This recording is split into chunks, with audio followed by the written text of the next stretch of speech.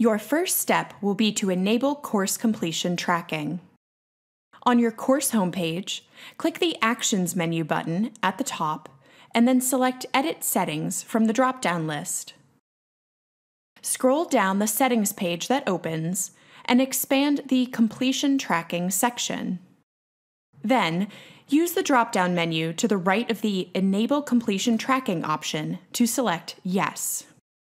Finally, click the Save and Display button at the bottom of the page to apply your changes. Completion tracking has now been enabled, allowing you to apply completion requirements to any individual activity and track your students' progress.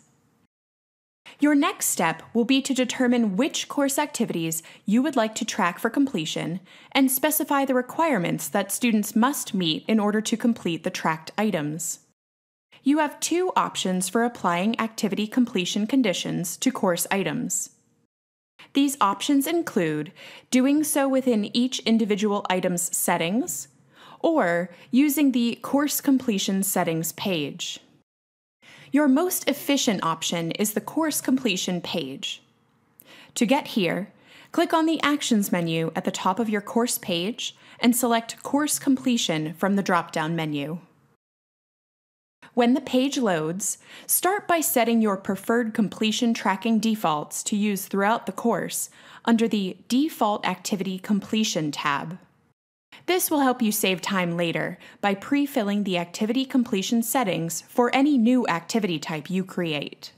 For example, to set completion tracking defaults for my quizzes, I can scroll down and select the checkbox to the left of Quizzes then continue down the page and click the Edit button to set my default completion tracking parameters for any new quiz I create.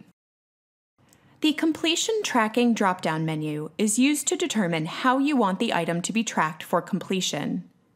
Please note, completion tracking options will vary by resource or activity type.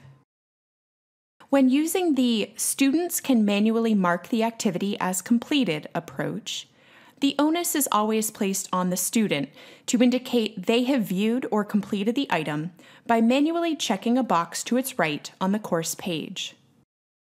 Your second option for completion tracking is to show activity as complete when conditions are met.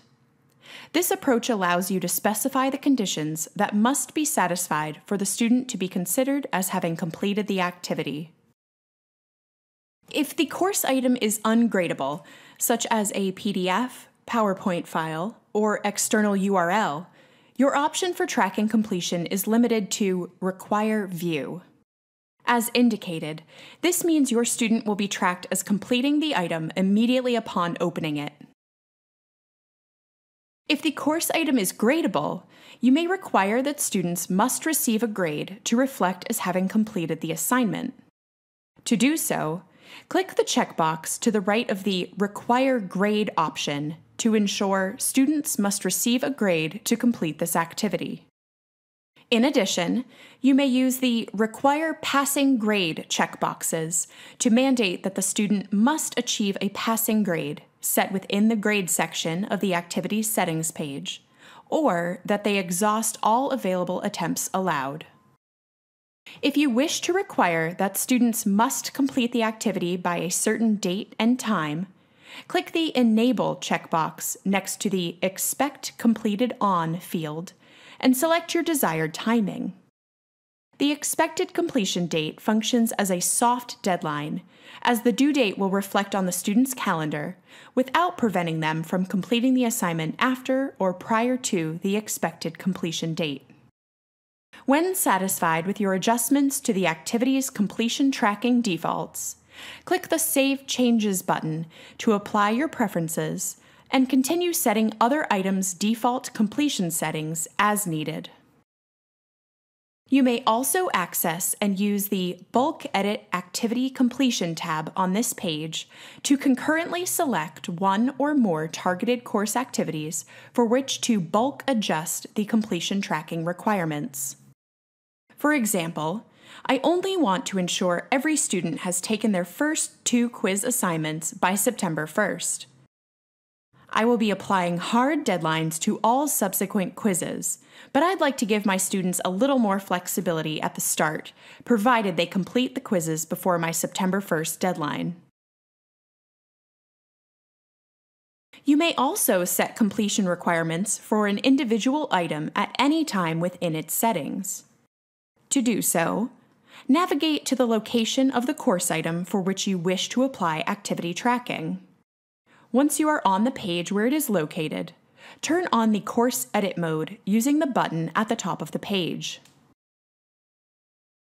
After the page refreshes, scroll to the item as needed, click the Edit menu to its right, and select Edit Settings from the resulting drop-down menu.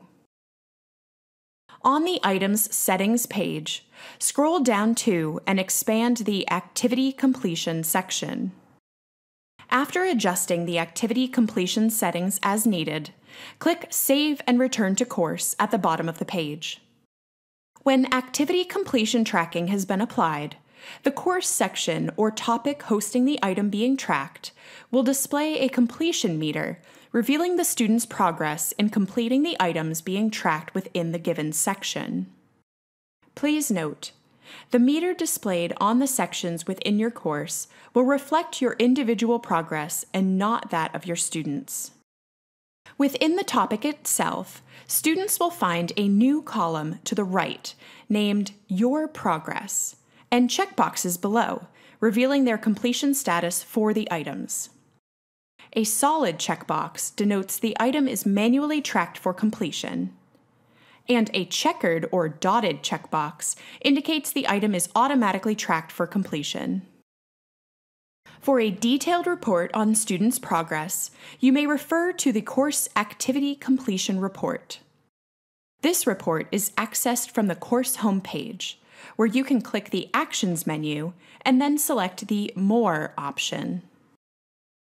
Under the Course Administration tab that opens, find the Report section and click the last option of Activity Completion.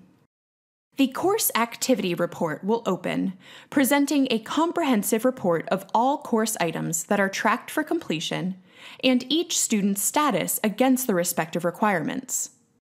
The report presents the students' names and email addresses vertically on the left and displays the course item names that are being tracked for completion horizontally across the top.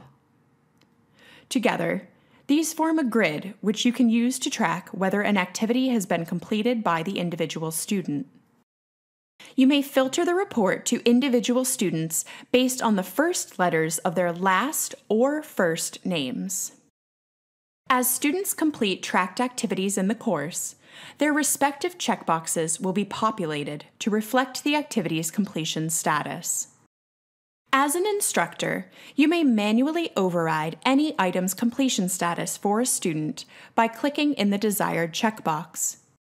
This can be useful if you want to help students with their course progress by checking off items they have yet to address or if you need to indicate that the student must redo a task they had previously completed. Please note, overriding a student's completion status will not automatically grant them a subsequent attempt on their assignment or quiz. This must be done manually. Any overridden item will display with a red box indicating it has been manually updated. You may also download this report at any time by selecting the file format of your preference.